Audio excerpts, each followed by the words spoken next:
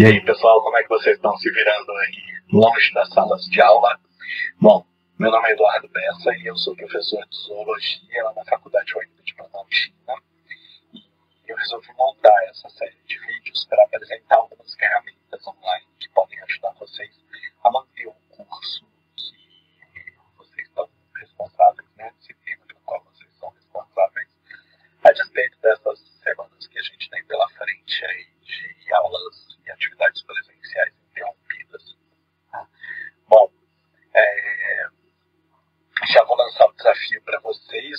gente vai ver uma ferramenta para montar agendinhas do tempo, mas eu gostaria muito de receber é, pedidos de vocês. Me digam o que vocês gostariam de fazer nas aulas de vocês presenciais.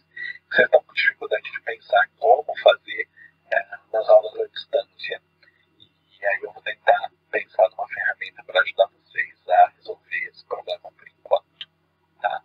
Bom, a ferramenta que a gente vai trabalhar hoje é o Time Toast.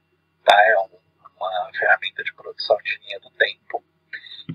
Então você vai entrar aqui no timetoast.com e ah, fazer um, um login. Você vai criar uma conta para você aqui. Rapidinho você cria essa conta, confirma pelo e-mail e uh, acessa essa área privativa aqui do programa. Tá? Você vai poder abrir aqui um é, painel com, com, as suas do tempo.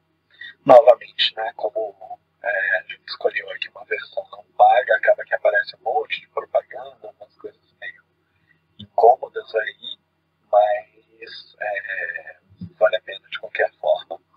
Uh, vocês vão escolher aqui, ó, adicionar uma linha do tempo. Novamente, né, ele tem um banco de dados bastante extenso de outras linhas do tempo. Todo mundo que cria linha Gratuito obrigado a colocar o produzido, é, material produzido como disponível online gratuitamente. Tá? Então dê uma olhada, porque de repente já pode até ter algum conteúdo que vocês gostem e que possam aproveitar para não perder tanto tempo, gastar tanto tempo produzindo. Aqui vocês vão colocar uh, um determinado tema, né? Então, é história da biologia.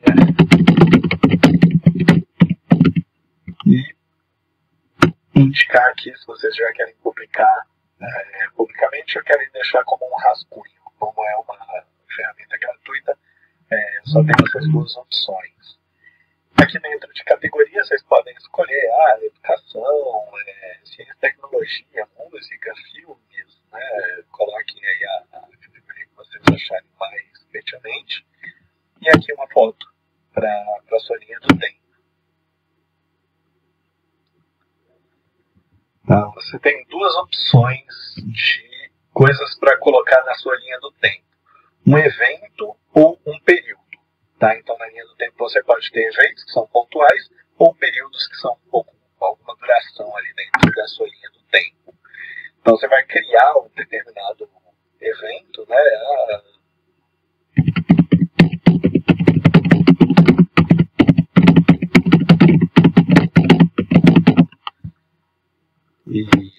Inclusive, você pode colocar um link, tá?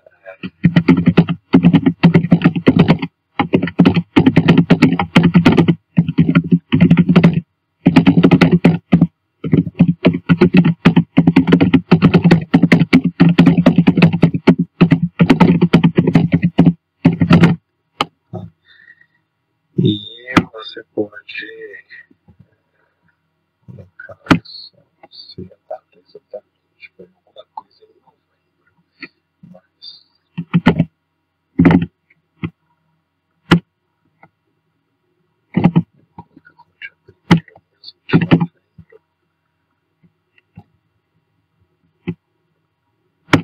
E aí ele vai colocar ali. À medida que você for colocando outros eventos, ele vai produzindo é,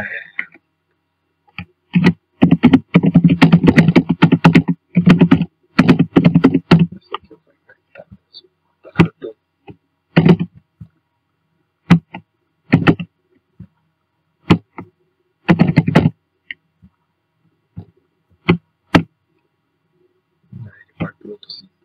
Aí ele vai produzindo a sua linha do tempo isso daqui.